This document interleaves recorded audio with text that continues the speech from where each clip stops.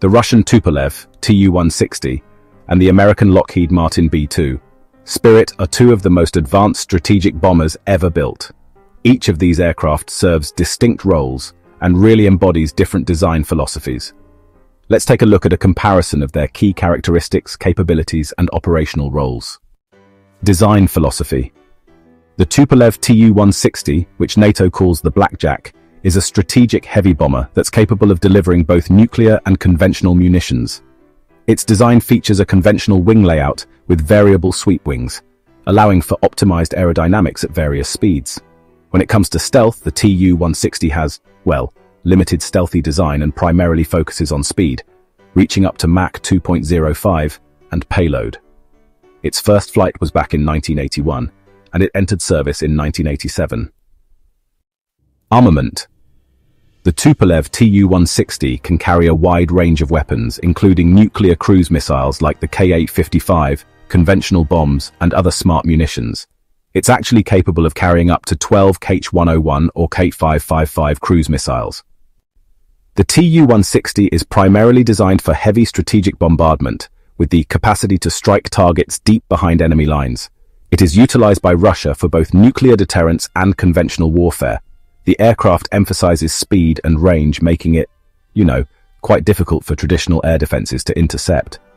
The Russian Tupolev Tu-160, also known as the White Swan, has several advantages and capabilities that set it apart from the US B-2 bomber. Here are some key differences. Speed. The Tu-160 has a top speed of Mach 2.05, making it the fastest strategic bomber in service today. In contrast, the B-2 Spirit has a top speed of Mach 0.95. Payload.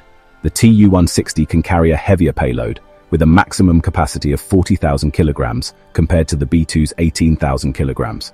Range. The Tu-160 has a slightly longer range, with a maximum distance of approximately 12,300 kilometers, compared to the B-2's 11,000 kilometers. Cruise missile capability. The Tu-160 is designed to carry long-range cruise missiles, such as the Kh-55 and Kh-101, which can be launched from a distance of over 1,500 kilometers. Supersonic capabilities. The Tu-160's supersonic capabilities allow it to quickly respond to threats and deliver its payload rapidly. However, it's worth noting that the B-2 Spirit has its own unique advantages such as its stealth capabilities, which make it nearly invisible to radar. The B-2's advanced avionics and precision-guided munitions also give it an edge in terms of accuracy and effectiveness.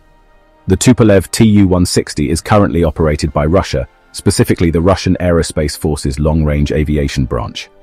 However, it's worth noting that Ukraine also previously operated the Tu-160, inheriting 19 aircraft after the dissolution of the Soviet Union.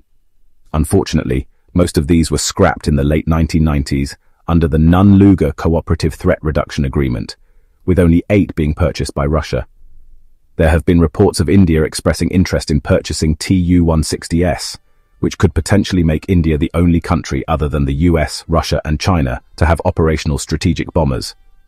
However, this has not been confirmed, and the status of these discussions remains unclear.